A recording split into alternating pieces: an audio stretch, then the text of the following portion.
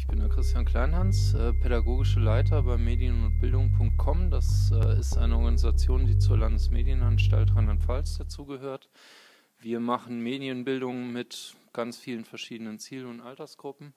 Das geht los mit dem sogenannten Medienpädagogischen Erzieherinnenclub. Das ist Multiplikatorenausbildung für die Kita. Geht über die Schule, Ganztagsschule. Das ist auch mein Bereich, den ich direkt betreue und äh, bis hoch zur Elternarbeit, Erwachsenenbildung, Lehrerfortbildung und so weiter. Uh, das ist eine gute Frage.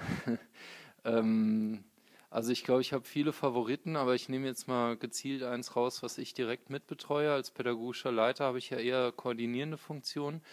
Ähm, aber ich bin, weil das äh, ein, ich sag mal, ein Randthema eher ist bei uns, ich bin für die digitale Medienbildung in der Schule zuständig, die mit Plattformen zu tun hat, also E-Learning.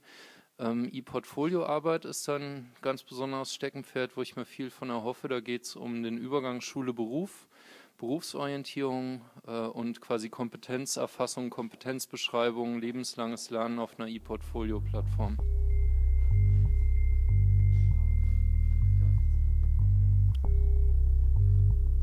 Also da geht es konkret um die Plattform Mahara. Das ist ein Open Source Tool, was äh, zum Moodle dazugehört. Also, na, ist eigentlich falsch formuliert. Es ist eine eigenständige Plattform.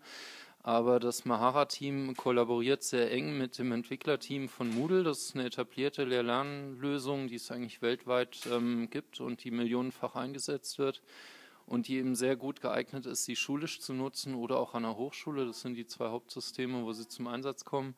Und mittlerweile ist eben diese Ergänzungslösung Mahara so stark fusioniert mit diesem Moodle-Projekt, dass man da genial eine ganz tolle Plattform draus bauen kann für didaktische Zwecke.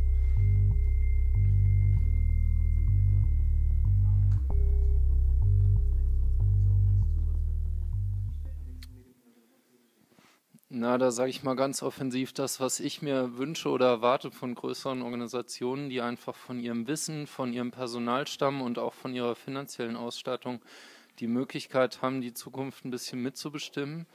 Ähm, das klingt jetzt sehr optimistisch, aber ähm, das, was ich denke, was wir bringen müssten als Organisationen in Deutschland, die mit dem Thema Medienbildung wirklich sich professionell beschäftigen, ist, Plattformlösungen zu schaffen oder Modelle zu schaffen, technisch gestützte Lösungen, die die Didaktik unterstützen und die Lernen einfacher machen.